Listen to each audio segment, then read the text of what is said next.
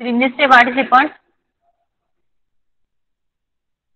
Yes, ma'am. Okay. Uh, firstly, very good morning to uh, everyone. Our today's lecture is on the uh, chapter number 3 that is the maximum demand indicator and the phase sequence indicator. So firstly, the measurement of given quantity is done by uh, different meter. For example, measurement of maximum demand. Maximum demand जर हवी असेल measure करायची असेल तर त्यासाठी आपल्याला maximum demand indicator essential आहे. Similar like that एखादा R Y B three phases आहे आणि त्यांचा आपल्याला फेज सिक्वेन्स डिटेक्ट करायचा आहे. तर त्या पर्पजसाठी आपल्याला फेज सिक्वेन्स इंडिकेटर इसेन्शियल आहे. तर फर्स्टली मॅक्झिमम डिमांड इंडिकेटर काय शो करतो की सपोज एखादा कन्झ्युमर आहे. त्याची पर्टिक्युलर टाइम पिरियडसाठी मॅक्झिमम डिमांड किती आपण ज्यावेळेस एम एस सी बीला बिल सँक्शन करतो किंवा एखादी नवीन मीटर घेण्याची कन्सेप्ट इम्प्लिमेंट करतो त्या केसमध्ये आपल्याला मॅक्झिमम डिमांड ही पहिले तिथे शो करायची असते. आणि त्यानंतर मग आपण ते जे काही सँक्शन आहे ते आपण करू शकतो. तर firstly maximum demand indicator is essential for the consumer side to know the uh, maximum demand of that particular industry or the consumer. Then uh, they are designed uh, that they do not record the high starting current of the motor मग maximum demand indicator कसे तुम्ही केलेले का त्याच्या through starting current जो काही मोटरचा असतो तो रेकॉर्ड होत नाही आणि शॉर्ट सर्किट करंट पण हा म्हणजे मॅन्डेटरी असतो. आयदर तो इन्क्रीज होतो किंवा डिक्रीज होतो. पण हे रेकॉर्ड त्याच्यामध्ये घेतलं जात नाही. Maximum demand indicator only record the demand that is the power in kilowatt किलोवॅटमध्ये जी काही तुमची पॉवर असेल तीच फक्त मॅक्झिमम डिमांड इंडिकेटरने इंडिकेट केली जाते. आणि त्याच्यामध्ये पण समथिंग टाइम पिरियड हा सेट केलेला असतो. For example maximum demand indicator are design to record the average power over the successive predefined period say of fifteen to thirty minute म्हणजे फिफ्टीन टू थर्टी मिनटचा स्पॅन असेल. तर त्या केसमध्येच आपण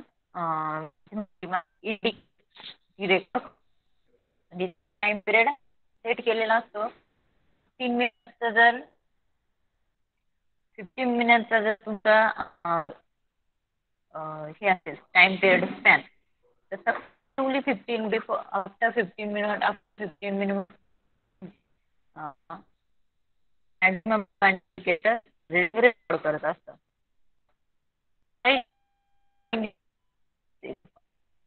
recording record केली जाईल value then thermal type maximum demand indicator digital maximum Maximum demand indicator average demand indicator त्याला Merz price demand indicator पण असं म्हटलं जातं.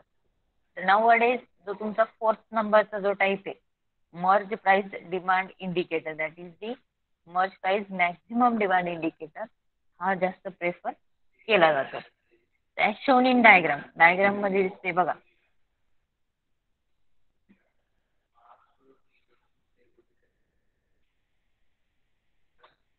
Diagram for the merge price maximum demand indicator. It consists of power reading display. ज्याच्यावरती digit दिसतंय बघा. Lever power reading display then there is a one circular scale maximum demand scale दिसते बघा तुमची. ग्रीन कलरच्या टाईप्समध्ये दिसतंय. ती स्केल आहे. त्या स्केलवरती तुमचा पॉइंटर सिच्युएटेड आहे आणि एक पिन्स तिथे अवेलेबल आहे. Then bell crank mechanism is needed for controlling the reading power display. Reading power display जो आहे तो याची controlling bell crank mechanism through होणार. Then gear mechanism and spring is essential for the your controlling torque controlling torque जर provide करायचं असेल तर gear mechanism and spring control याच्या थ्रू तुमची पॉवर किंवा जो पॉईंट आहे तो मेंटेन केला जातो. Average maximum demand in kilowatt ही जर फाइंड आउट करायची असेल म्हणजे रिडिंग कशी रे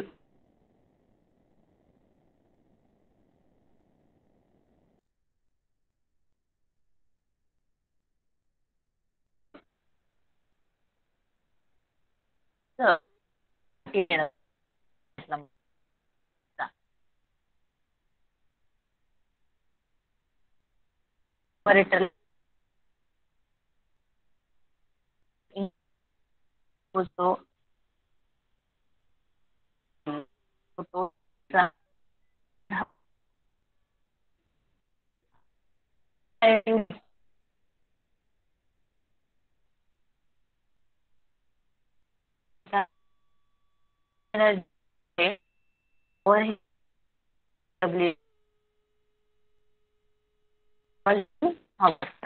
मॅम आवाज ब्रेक होतोय. ब्रेक होतोय का एक दोन मिनिटं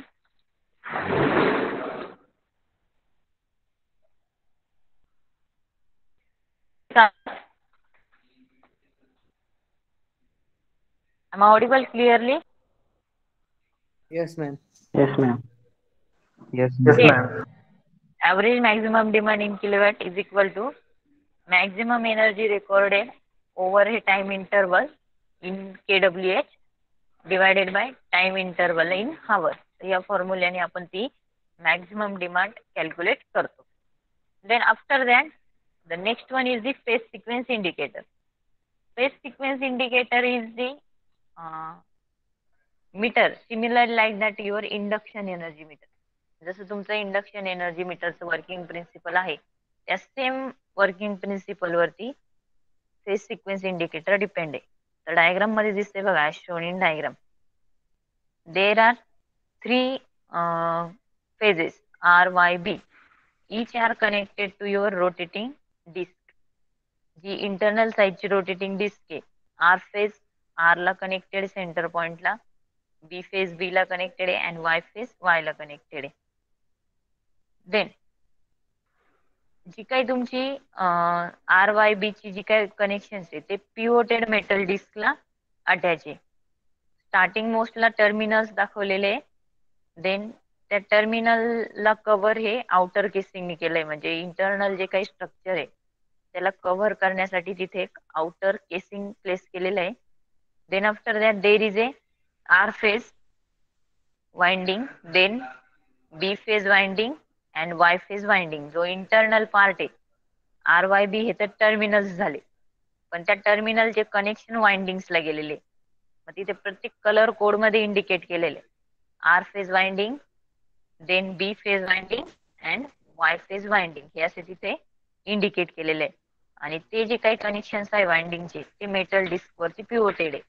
आर वाय बी ज्या वाइंडिंग्स आहेत त्या एका मेटल डिस्कला कनेक्टेड आहे. देन आता वर्किंग प्रिन्सिपल कसं आहे की सपोज तुमचा आर वाय बी ला सप्लाय दिला त्यानंतर फेस सिक्वेन्स इंडिकेटरचे दोन टाइप्स पडतात. Rotating type and static type rotating means काय? ती डिस्क रोटेट होणार त्याच्या अकॉर्डिंगली आपण फेस सिक्वेन्स आयडेंटिफाय करणार. आणि स्टॅटिक मीन्स काय? त्याच्यामध्ये रोटेशन कुठलेच नसतात.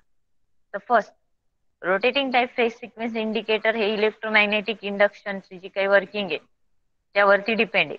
मीन्स काय R Y B R Y B जे काही आपले फेजेस आहे त्याला आपण सप्लाय देणार.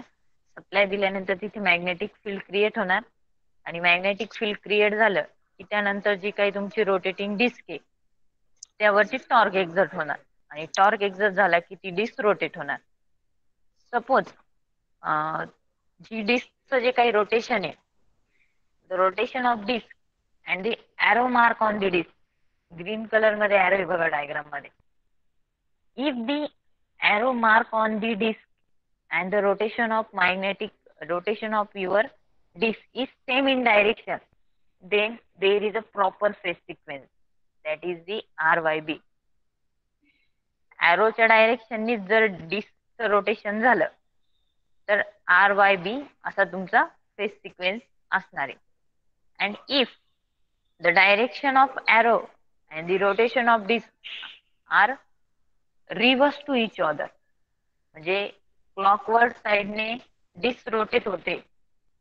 आणि सपोज ॲरो तुमचा क्लॉक क्लॉकवाईजने ॲरोची डायरेक्शन आहे. आणि त्याच्या अपोजिट साइडने तुमची डिसरोटेट व्हायला लागली. तर त्या केसमध्ये समजायचंय की फेस सिक्वेन्स हा चेंज झालेला आहे. तो बी वाय आर असू शकतो किंवा वाय बी आर असू शकतो. मग आयडेंटिफाय कसं करणार? मीटरवरती आपल्याला फेस सिक्वेन्स इंडिकेटर रिडिंगचं शो करेल बट ते आपल्याला आयडेंटिफाय करायचं असतं if the direction of rotation of disk and the arrow mark on the disk is same in direction then phase sequence is correct that is the RYB and if the arrow mark on the disk and the rotation of disk is inverse to each other then phase sequence is incorrect or maybe wrong clear? समजले participants Yes, ma'am. Yes, ma'am. Okay then आता इथे phase sequence इंडिकेटरचे जे काही connection आहे ते आपण other वेने पण आयडेंटिफाय करू शकतो.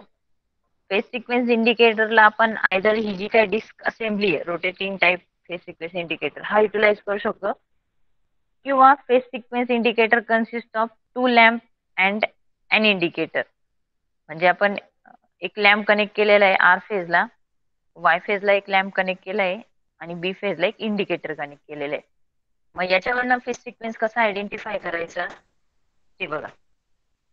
If the lamp one is dim and the lamp two is glow one means कुठला? जो आर फेजमध्ये कनेक्ट केलेला आहे तो लॅम्प वन आहे. आणि लॅम्प टू कुठला आहे? जो वाय फेजमध्ये कनेक्ट केलाय तो. मग फर्स्ट कंडिशन काय? आहे if the lamp one is dim म्हणजे आर फेजमध्ये कनेक्ट केलेला लॅम्प डिम आहे. आणि वाय फेजमध्ये कनेक्ट केलेला लॅम्प हा ब्राईट आहे. म्हणजे ब्राईटली ग्लो होतोय. Then phase sequence of the supply is R Y B त्या केसमध्ये फेज सिक्वेन्स कसा असणार आहे तुमचा? आर वाय बी कुठल्या केसमध्ये if the lamp connected in R phase is dim and the lamp connected in Y phase is bright then at that condition the phase sequence of supply is R Y B he first condition समजली का सर्वांना? Ma'am. Okay and आता phase sequence inverse कुठल्या केसमध्ये असणार आहे ती condition आपल्याला बघायची. If the lamp one is glow म्हणजे आर फेजमध्ये जो लॅम्प कनेक्ट केलाय तो ग्लो आहे म्हणजे ब्राईट आहे. आणि वाय फेजमध्ये जो लॅम्प कनेक्ट केलाय तो डीम आहे. म्हणजे काय झाली? ती इनवर्स पोझिशन झाली. त्या केसमध्ये तुमचा फेज सिक्वेन्स हा इनव्हर्स असणार आहे म्हणजे रॉंग असणार आहे आर वाय बी नाही असणार तो बी वाय आर असू शकतो किंवा वाय बी आर असू शकतो मेन काय आहे वाय फेजमध्ये जो कनेक्टेड लॅम्प आहे तो ऑलवेज ब्राईटलीच त्याने म्हणजे ब्राईट असायला पाहिजे त्याच केसमध्ये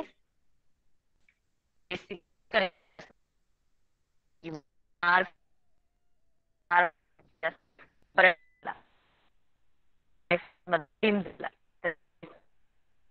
R sequence use amp indicates message one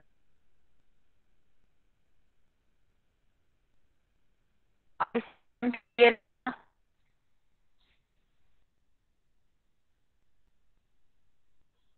Student replied, नाही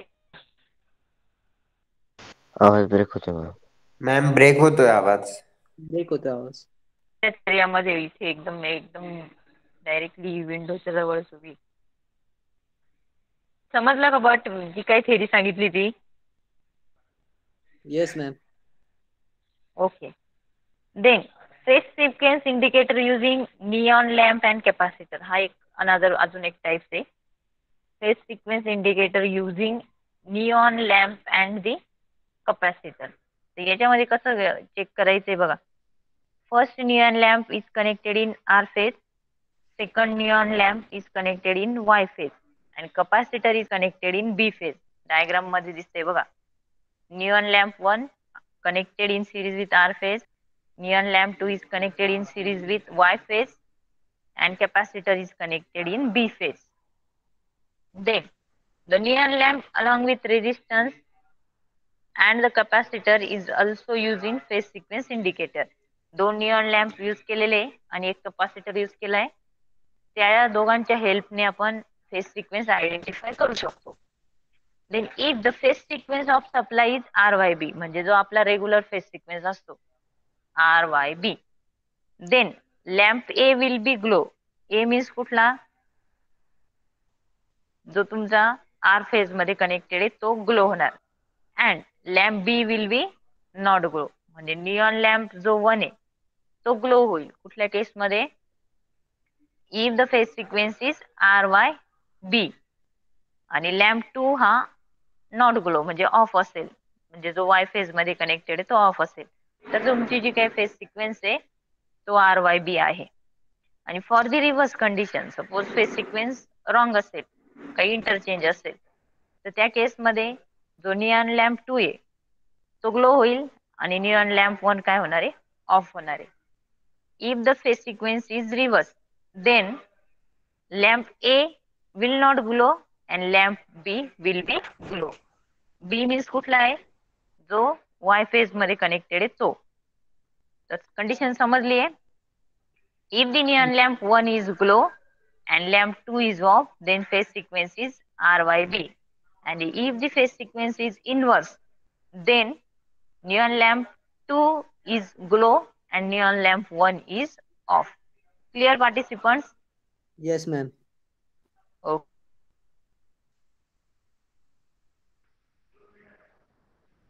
then our next is the four quadrant meter the four quadrant meter is nothing but your electrostatic wattmeter four quadrant meter आणि electrostatic watt metre तर watt मीटरचा purpose काय असतो generally to measure the power but हे four quadrant meter कुठल्या केसमध्ये utilise होईल?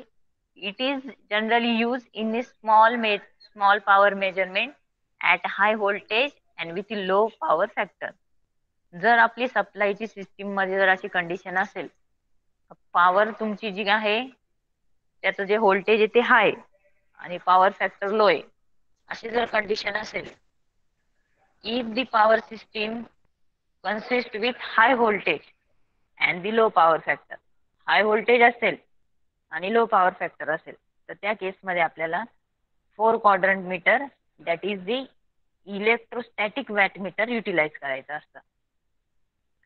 Then यात एक सेकंड यूज काय it is also use for the dielectric loss dielectric loss जो असतो तुमचा त्याचं मेजरमेंटसाठी पण आपल्याला four quadrant method meter utilize करता येतं. In long cable with AC voltage जिथे एसी हाय व्होल्टेज असेल आणि तुमची लॉंग केबल असेल आणि तिथे जर आपल्याला डायलेक्ट्रिक लॉस मेजर करायचा असेल dielectric loss is nothing but also your voltage drop तो मेजर करायचा असेल तर four quadrant meter is utilize then instantaneous torque in this instrument is directly proportional to the sum of voltage drop म्हणजे जो काही torque pointer वरती डिस पॉइंटरला डिस्प्ले करण्यासाठी इसेन्शियल असतो.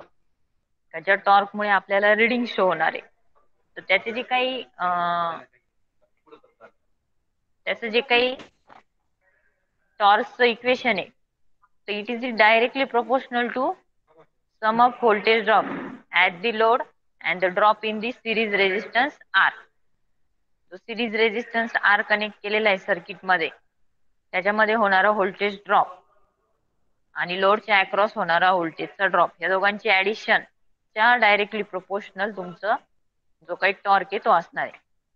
That means the torque which is essential to move the pointer is directly proportional to sum of voltage drop at the load and at the resistance clear participant four quadrant meter is use to measure the in short power loss power loss जर measure करायचा असेल तर तुमचा four quadrant meter utilise होणार. Clear yes ma'am okay इथे तुमचं chapter number थ्रीचा end आहे. क्युरी असेल तर विचारा.